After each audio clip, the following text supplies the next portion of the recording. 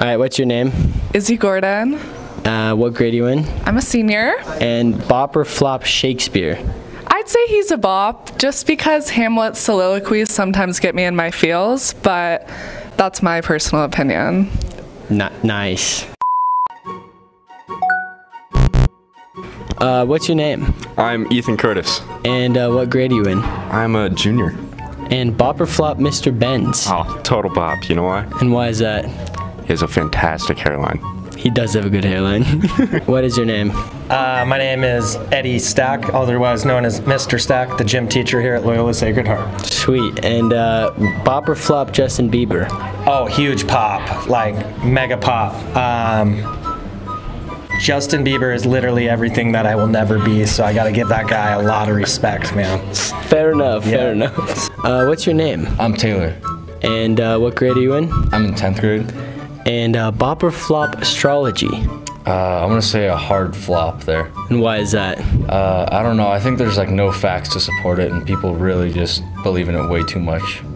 All right, what's your name? Melissa Conson. And what do you do here? I work at the front desk.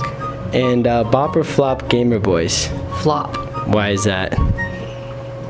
You didn't tell me you were going to say why. It's okay. why, why is that? I just think that they could be spending their time doing something more productive. That's, that's a good answer. That's a good answer. All right, what's your name? Uh, my name is Miss G-Hack. And what do you teach? I teach APUS History, Native American Studies, Humanities, and Asian Studies. Awesome. And bop or flop cracking your knuckles? It is the biggest flop to me on the planet. I hate that noise more than anything. It makes me like cringe. So absolute flop. Perfect. Uh, what's your name? My name's Peyton Rowe. And what grade are you in? I am a senior.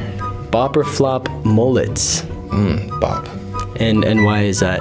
Because one of my friends, Doug, had a mullet, so I don't really want to. Could he pull it off? Uh, yeah, he pulls it off. All right, sweet. Pulls it off. Go ahead.